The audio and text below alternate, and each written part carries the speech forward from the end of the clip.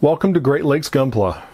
This will be part one. This will be an unboxing and frame first impressions of the BSC 135th Unicorn Bust.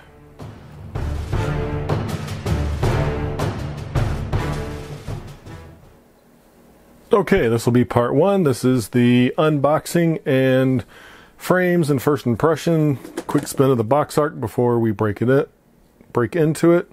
I just got this today, so I have not even opened this kit yet.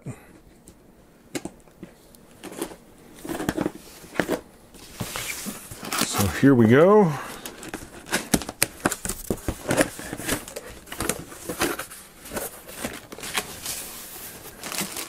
Right on top we have our gold pieces, two white frames,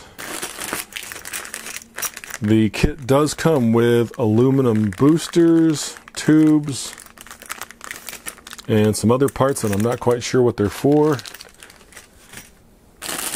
The LED kit looks like it uses two AAA batteries. Um, all the bulbs are loose in the kit, so you do have to put all that together. Not quite sure how that's going to work. Then we have clean, clear, and green parts. Two more frames of white parts.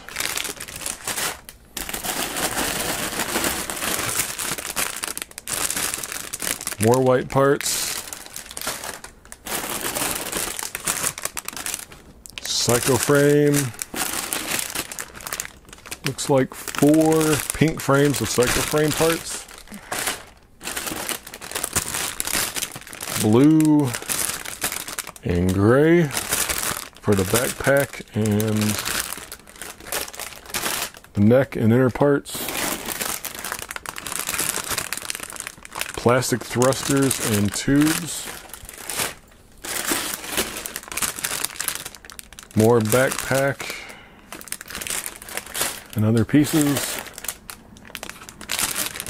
Two black frames.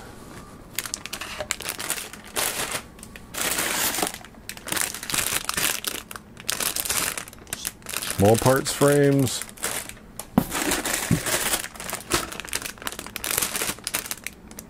Two more black inner frame pieces and some dark gray joints of some kind. The instruction manual. Full color.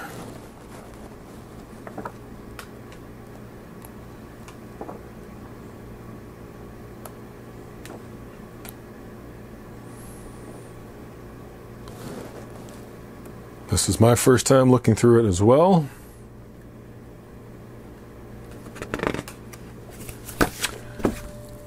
And water slide decals.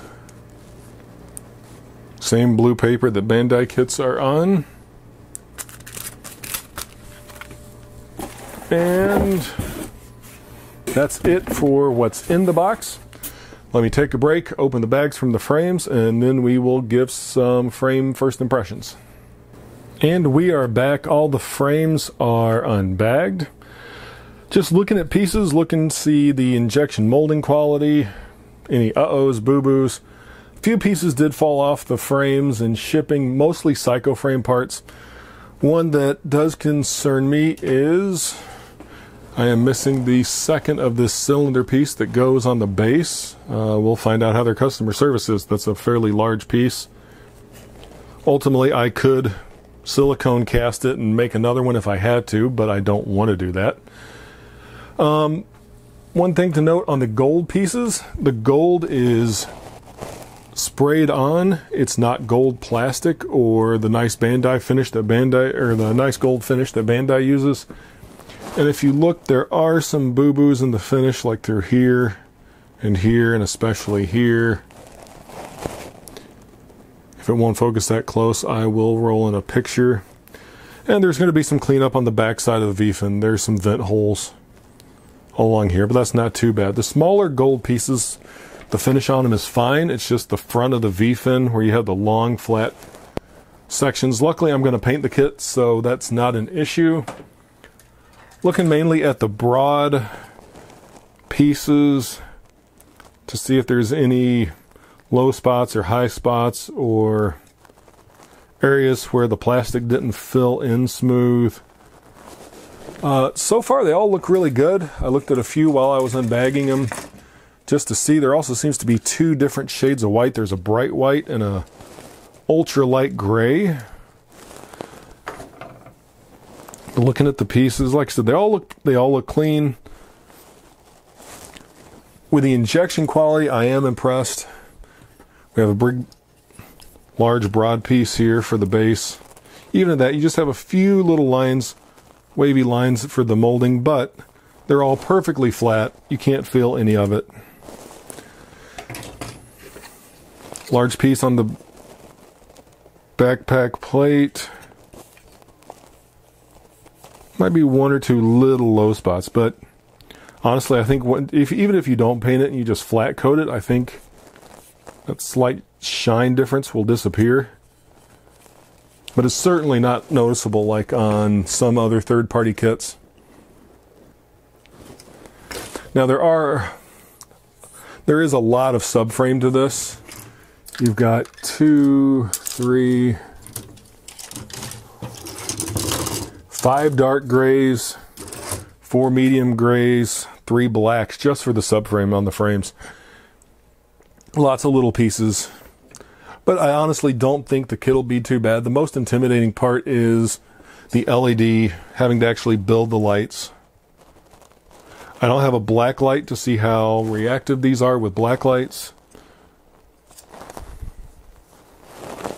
The uh, Psycho frame parts do seem to be a little less flexible. I think that's why they broke off of the frames and shipping. But they do have a nice pink tint. I don't know if you can catch it when the light catches it from the side. They do have a nice glow. Here you can see three of the four gates broke. On this one also, four of the five broke. This large piece is sitting over yonder. But all in all, I am impressed with the injection molding quality.